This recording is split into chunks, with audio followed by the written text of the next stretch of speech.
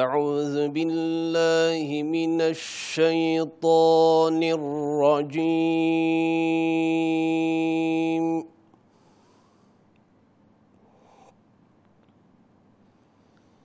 بسم الله الرحمن الرحيم.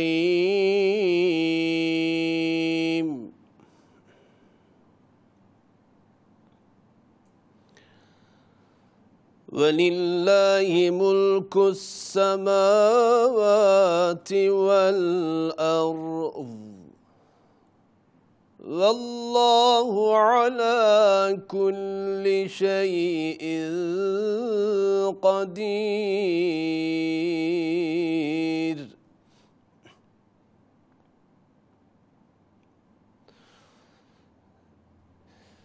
إن في خلق السماوات والأرض واختلاف الليل والنهار لآيات لأولي الألباب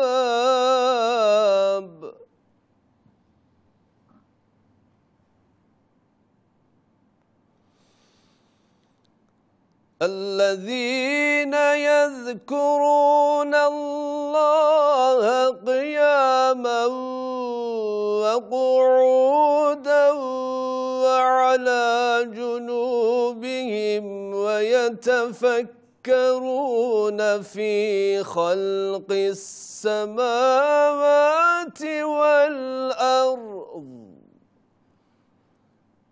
ربنا ما خلقت هذا باطلا.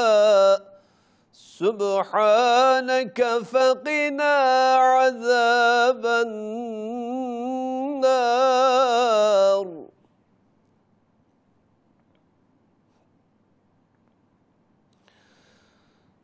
ربنا إنك من تدخل النار فقد أخزيته. وما للظالمين من أنصار.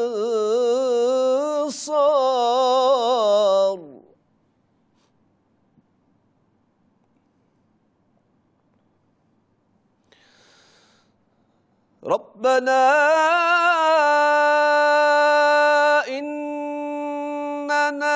سمعنا مناديا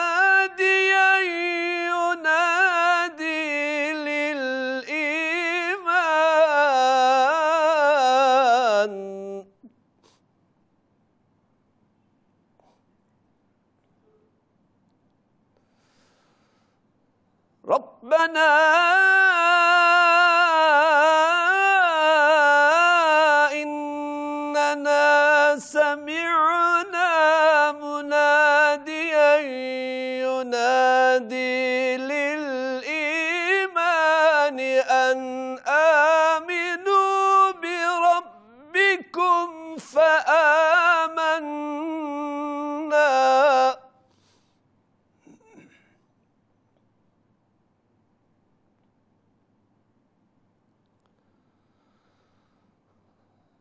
ربنا فاغفر لنا ذنوبنا وكفر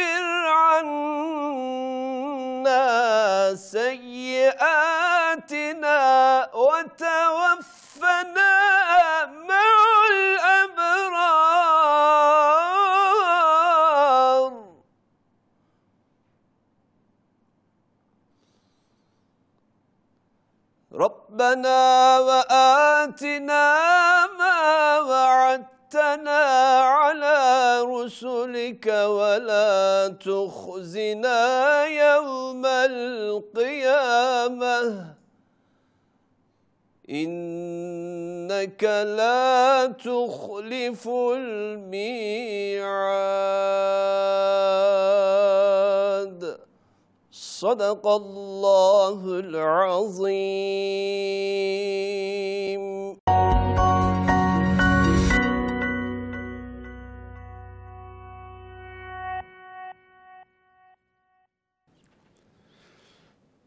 بسم الله الرحمن الرحيم Elhamdülillahi Rabbil alemin.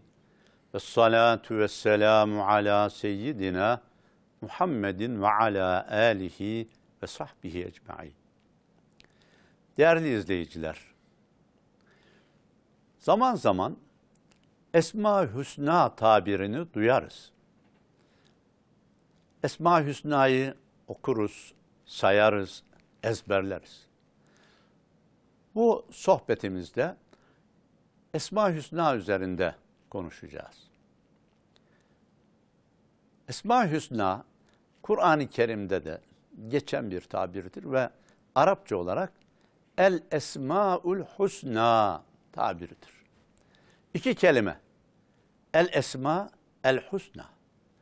El Esma isimler demek.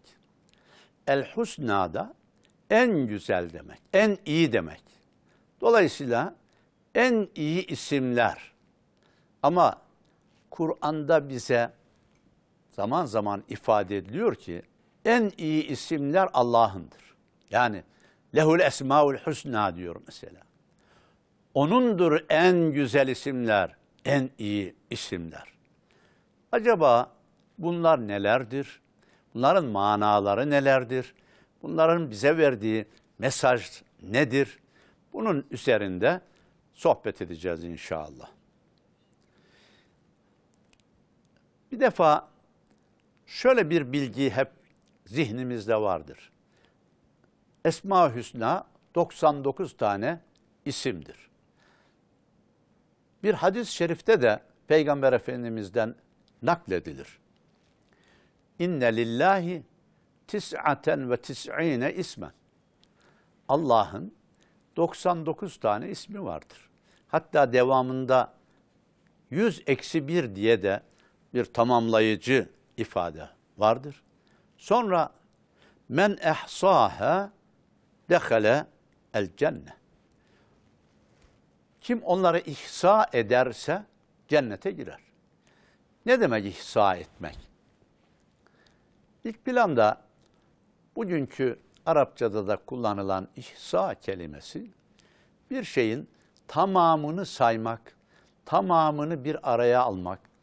Hatta bugün istatistik e, ifadelerinde de kullanılan bir tabirdir. Kelimenin diğer tabirleri de dikkate alınarak şöyle bir şey demek mümkündür. Bu 99 ismi ihsa etmek, saymak sadece telaffuz etmekten ibaret değildir. Alimlerimizin yorumlarından e, hareketle bunu söylüyorum. Yani öyle anlaşılıyor ki bu isimleri bilmek, saymak, onları içselleştirmek, benimsemek ve hayata geçirmek. Eğer bunu yapabilirsek zaten cenneti hak etmiş oluruz.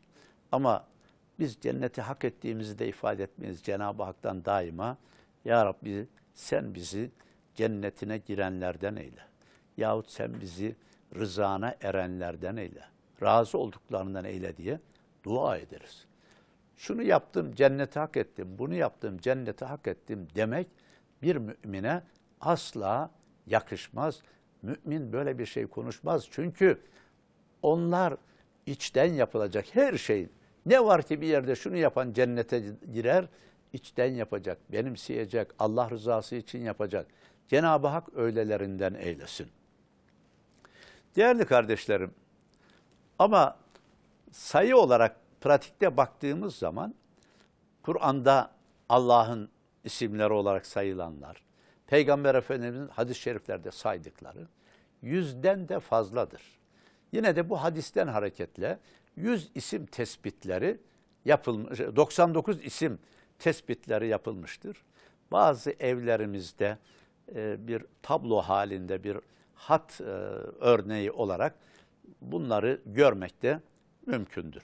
Ama Allah'ın isimleri, Kur'an'da bildirilen, Peygamber Efendimiz'in bildirildiği isimler aslında bize bir mesaj da vermektedir. Yani bir taraftan Allah'ı bize tanıtır, bir taraftan da bizim onları idrak ederek o şuurla, o bilinçle hareket etmemizi ve dünyayı, dünya hayatını ona göre yaşamamızı ister. Bazı isimler, bu isimlerden bazıları Kur'an'da ve hadiste çok geçer. Günlük hayatımızda da çoktur. Mesela en başta Er-Rahman, Er-Rahim. Bu iki isim, bu iki sıfat da diyebiliriz. Yani Cenab-ı Hakk'ı bize niteliyor çünkü, çünkü bunlar. Besmele'de yer alıyor. Bu ikisi her rekatında namazın okuduğumuz Fatiha'da yer alıyor. Elhamdülillahi Rabbil Alemin Er-Rahmanir-Rahim. Tabi ondan önce Bismillahi Er-Rahmani Er-Rahim ayırırsak orada Rahman ve Rahim. Allah'ın merhamet sıfatını ifade ediyor. Allah çok merhametlidir. Çok merhametlidir. Rahman'daki merhamet daha geniştir, daha vasi'dir, daha geneldir. Ama her ikisi de Cenab-ı Hakk'ın merhametini bize ifade eder. Biz de merhametli olmaya çalışırız. Bizim için de merhametli olmak bir hedeftir. Ama insanlar için Rahman kelimesi kullanılmaz da Rahim kelimesi kullanılır, kullanılabilir, isim olarak alınabilir. Bu isim meselesinden biraz sonra ayrıca bahsedeceğim. Yine Kur'an'da çok kullanılan Allah'ın esmasından, isimlerinden bazıları aziz ve hakim kelimelerdir. Aziz, izzet sahibi demektir. Ne demek izzet? Güç, kuvvet demek. Çoğu zaman da aziz, hakim bir arada kullanılır. Şöyle diyebiliriz. Aziz, izzet, hikmetli güçtür. Yani zalimin de gücü var. Gaddar insanların da gücü var. Dünyada gücü elinde bulunduran nice ahlaksız, kötü niyetli insanlar var. Burada aziz denilen, işte onlar aziz değildir. Onlar kuvvetlidir ama aziz değildir. Azizdeki güç hikmetli güçtür. Hikmet ne? Doğru hareket edebilmek, güzel hareket edebilmek, Allah'ın dinine uygun hareket edebilmek. İşte akla, aklı selime, mantığa, insanların hatta kainatın e, maslahatına uygun, geleceğine uygun, menfaatine uygun hareket tarzına hikmet diyoruz. Cenab-ı Hak da hikmet sahibidir. Hakimdir. Biz de müminler olarak hikmetli insanlar olmaya çalışırız. Bu bizim için bir mesajdır. Mesela Allah gafurdur. Gafurun rahim. Bu ikisi beraber de gelir. Yani gafur mağfiret edici, bağışlayıcıdır Allah ve merhametlidir. İkisi birlikte gelir. Gafur, gaffar. İkisi de çok çok bağışlayan demektir. Bunların normali gafirdir. Gafiru zenb diye de Cenab-ı Hak hakkında o da kullanılır, bağışlayan. Ama gafur ve gaffar çok çok bağışlayan demektir. Yine Allah'ın ilim sıfatını isim olarak görüyoruz. Alim. Allah alimdir, alimdir, allamdır. Bunların hepsi de Allah'ın her şeyi bildiğine, çok bildiğine, bilgi sahibi olduğuna delalet eder. Gaybı da bilir, alimül gaybi ve şehade. Yani görünmeyen bizim şu duyu organlarımızla hissedemediğimiz, sadece görülmeyen değil, duyamadığımız, dokunamadığımız, hissedemediğimiz bir alem var. Ona gayip alemi diyoruz, ahiret alemi diyoruz. Bu dünyada bizim algı dünyamızın dışında kalan ama var olan şeyler, ahirette var olacak şeyler. Allah onları da bilir. Şehade de işte fizik alem dediğimiz görünen, algılanabilen şeyler. Allah bunların hepsini bilir. Cenab-ı Hak daha başka sıfatları, isimleri var. Vakit kalırsa onlardan da bahsederiz. Ama burada şundan kısaca söz etmek isterim. Allah'ın Esma-i Hüsna'sını, bu isimlerin hepsini insanlar hakkında kullanmak mümkün müdür? Caiz midir? Derler ki bunlardan bir kısmı uluhiyete delalet eder. Yani uluhiyet ilahlık demek. Onun ilah ol, olma vasfına işaret eden e, sıfatlar, isimlerdir. Onlar insanlar hakkında kullanılmaz. İnsanlara isim olarak da verilmez. Verilecekse başına abd kelimesi gelir. Mesela Abdurrahman denir ama Rahman denmez. Abdülkuddus denir ama Kuddus denmez. Diğerleri ise Aziz, Rahim, hem Aziz denir insana hem de Abdülaziz diye de isim olur. Elbette ki Abdülaziz daha iyidir. Abdurrahim, Abdülhamid bunlar güzel isimlerdir. Allah'ın uluhiyeti delalet eden isimlere hangisidir konusunda bazı tespitler vardır. Genelde bunlar içerisinde Abdülkahir el-Bağdadi'nin dokuz isim tespiti e, zikredilir. Bunlar birisi ilah. İlah yani Tanrı demek. Tanrı hiçbir insana ilah denmez. Bazen izleyicilerimiz arasında da olabilir. İlah dedi, Tanrı dedi, Tanrı denir mi söyleniyor. İlah, Tanrı birbirinin karşılığıdır. Ama Allah işte o Allah'tır. Yani adeta özel ismidir bizim inandığımız ilahın özel ismidir Allah. Diğerleri onun Esma-i Hüsna dediğimiz bir tür sıfatıdır veya onun hakkında kullanılan isimlerdir. İnsanlara verilemeyecek olanlardan birisi ilah. Birisi Rahman. Çok genel bir merhamet sahibi anlamında. Birisi Halik. Abdülhalik deriz. Halik diye isim olmaz. Yaratıcı demek. Yaratan demek. Kuddus. Kuddus diye isim değil, Abdülkuddüs olur. Kuddüs çok mukaddes, çok kutsal, razzak, çok çok rızık veren Allah hakkında. Muhyi, can veren, canlandıran, hayat veren. Mümit, öldüren. Ama bu öldüren kelimesi üzerinde kısaca şunu söylemek isterim. Biz normal ölümle ölene öldü diyoruz. Onu da öldüren Cenab-ı Hak'tır. Ama bu katilin öldürmesinden farklıdır. Yani Arapçada birisine katele fiili kullanılır ve oradan katil kelimesi gelir. Birisine mate fiili kullanılır, öldü denir. Mümit o katilin öldürmesi değildir. Diğeri işte melekler vasıtasıyla insanların canını alma, insanlara hayat verme, bütün bunlar Cenab-ı Hakk'ın e, tasarruflarıdır. Dolayısıyla bir insana mümit denmez. Yine Malikil Mülk, Abdülkahir el-Bağdadi'nin saydığı Malikil Mülk denmez. Zülcelal vel İkram denmez. Bunlar zaten pek isim olarak kullanılmıyor. Kur'an-ı Kerim'de Araf suresinde 180. ayet buyuruyor ki Cenab-ı Hak Estaizu billah ve lillahil esmaül husna fed'uhu biha en güzel isimler Allah'ındır. Siz ona onlarla dua ediniz. Ona olan çağrınızı, davetinizi onlarla yapınız. Veya onu o isimlerle isimlendiriniz. Anlamları verilir bu ayeti kerimeye. Burada dualarda Cenab-ı Hakk'ın bu isimlerinin kullanılmasına işaret vardır. Hatta böyle bir talep vardır.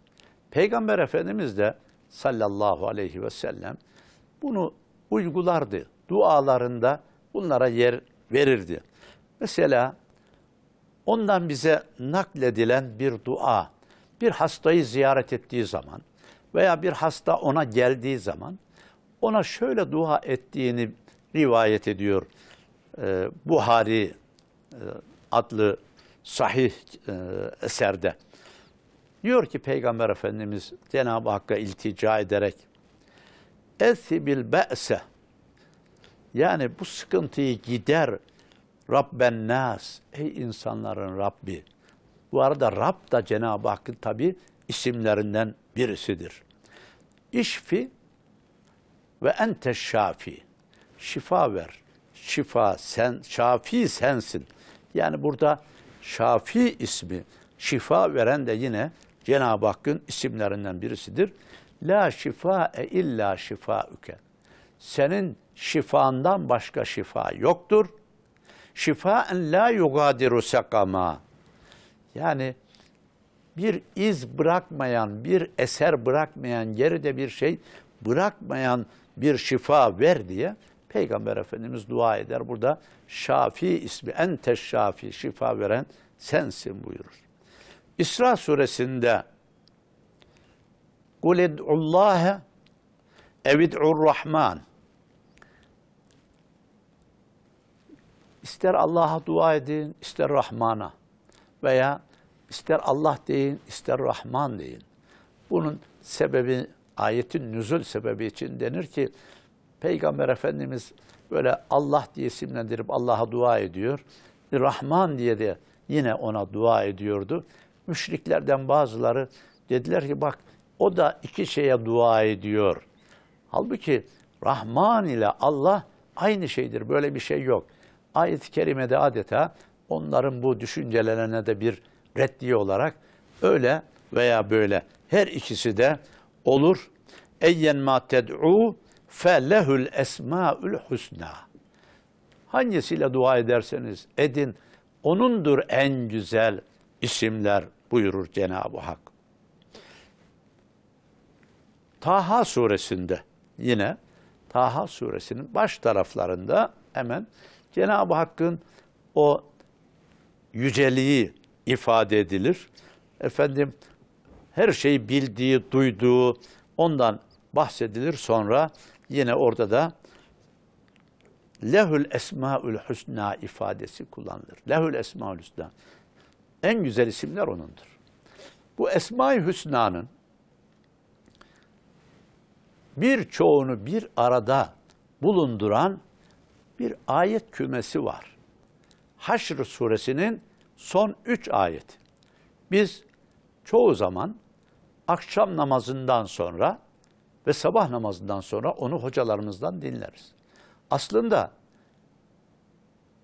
her birimizin ezberlemesi ve okuması tavsiye edilir. Bu üç ayeti kerime. Tirmizi'de bir rivayet vardır.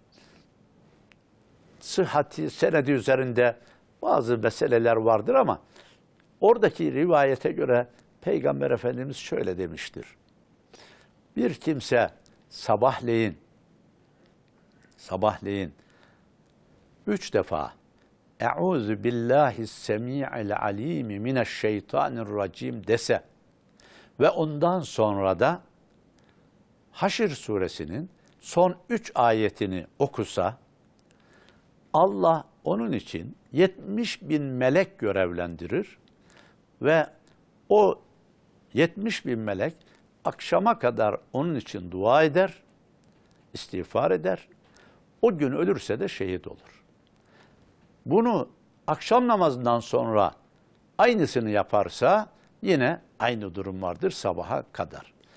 Dolayısıyla sabah namazının peşinden bu üç ayet-i kerimeyi okumak, akşam namazının peşinden bu üç ayet-i kerimeyi okumak sevaptır. Zaten birçok camimizde hocalarımız mutlaka bunu okur ama her birimizin de okumasında fayda var. Şimdi bu üç ayeti içerisinde e, Esma-i Hüsna'yı da barındırdığı için şöyle bir kısaca anlamaya çalışalım. Estaizu billah, bismillah. Huvallahüllezî la ilahe illa hu. O öyle bir Allah'tır ki ondan başka hiçbir ilah yoktur. Ondan başka hiçbir ilah, işte bir tanrı yani şu veya bu vesileyle insanların kafasında uydurdukları şeyler. Bunlardan Hiçbirisi yoktur. Sadece o vardır. Alimul gaybi ve şehade. Az önce de ifade ettim. Gaybı da bilir. Yani bizim algı dünyamızın dışındakileri de bilir. Algı dünyamızın içinde kalan fizik dünyamız içerisinde olan onlara biz şehadet alemi diyoruz. Oradakileri de bilir. Huver Rahmanur Rahim. Bakın burada da geldi. Rahman ve Rahim. Rahmandır, Rahim'dir. Merhameti sonsuzdur. Diğer ayete geçiyor yine. Huvallahüllezî la ilahe illahu. O öyle bir Allah'tır ki ondan başka hiçbir ilah, bir tanrı yoktur. El melikü otorite sahibidir, güç sahibidir. El kuddus çok kutsaldır. Bütün kutsallıkların kaynağıdır. Ondandır her şey. Es-selam selamdır, selamettir, barışın, sulhun, sükunun kaynağıdır.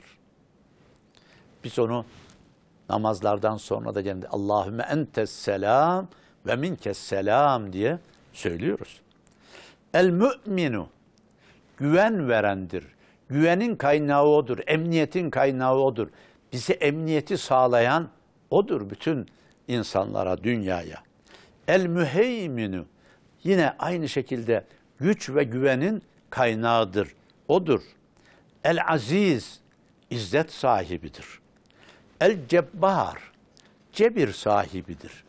Buradaki cebbar iki türlü anlaşılır. Cebr birisi Türkçe'de de kullandığımız bir şeye istediğini o istemese bile yaptırma gücüdür ki Allah'ın böyle bir gücü vardır. Diğeri de eksiklikleri telafi etmektir. Cebr. Türkçe'de kullanmayız ama Arapçada böyle bir manası vardır. Yani eksikleri cebbar o zaman da eksikleri çok iyi, çok güzel telafi edendir. Subhanallahi amma yüşrikûn. Subhanallah ifadesi Allah'ın her türlü eksiklikten, noksanlıktan münezzeh olduğunu, uzak olduğunu ifade eder ki onların şirk koştukları şeylerin hepsinden Allah uzaktır. Yani Allah'ın yanında başka ufak küçük neyse Tanrı düşüncesinde olanlar veya Tanrı gibi değer verilenler vardır. Bunların hepsi e, Allah bunların hepsinden uzaktır. Son ayet Huvallahul halikul bari'ul musavvir Allah'tır o. O Halik'tir. Bir araya getirip yapan, yaşatan, yaratan, el bari hiç yoktan yine var eden, el musavvir şekil veren, suret veren, suretlendirendir. Dedikten sonra tekrar burada da diyor ki lehül esmaül husna. Onundur en güzel isimler. Yusebbihu lehu ma fis semavati vel ard. Semalardakiler ve yerdekilerin hepsi onu tesbih eder. Onun yüceliğini ifade eder. Ve huvel azizül hakim. O azizdir, izzet sahibidir, hakimdir, hikmet sahibidir. Cenab-ı Hak bu ve diğer mesajlarını Cenab-ı Hakk'ın alan, idrak eden, aklına ve ruhuna yediren, benimseten, benimseyen ve böyle bir hayat yaşayanlardan eylesin cümlemiz. Amin. Elhamdülillahi Rabbil alemin. Ve salatu ve selamu ala seyyidina Muhammedin ve ala alihi ve sahbihi ecma'in. Ya Rabbel alemin. Bizlere merhametinle muamele eyle. Ehli imana merhametinle muamele eyle ya Rabbi. Dünyayı her türlü fitneden, fesattan, kötülükten sen uzak eyle ya Rabbi. Zalimlere fırsat verme ya Rabbi. Ya Rabbel alemin. Müemminsin, müminsin. Bizleri emniyet içerisinde olanlardan eyle ya Rabbi. Bilhassa İslam yurdunu, İslam dünyasını, Müslümanları şu zalimlerin şerlerinden sen emanda ve emniyette eyle ya Rabbi. Ya Rabbi sen selamsın. dünyaya sulh ve sükun, selametler ihsan eyle. Ya Rabbi sen şafisin. Senden başka şifa veren yoktur. Hastalarımıza şifalar ihsan eyle ya Rabbi. Her türlü dertlerimizi, sıkıntılarımızı sen def-u ref eyle ya Rabbi. Ya Rabbel alemin. Hanelerimize saadetler ve selametler ihsan eyle. Vücutlarımıza sıhhatler ihsan eyle. Bizi faydalı ilimlerle mücehhez eyle ya Rabbi. Senden il, faydalı ilim istiyoruz lütfeyle ya Rabbi. Ya Rabbi takvalı bir hayat istiyoruz. Seni, senin rızanı önceleyen, senin yolunda gitmeyi her şeye tercih eden takvalı, iyi müminlerden eyle bizleri ya Rabbi. Ya Rabbel Alemin, iyilere yardım eyle. İyiliği yaygınlaştırmak isteyenlere yardım eyle. Subhane rabbike rabbil izzeti amma yasifun ve selamun alel murselin velhamdülillahi rabbil alemin. El Fatiha.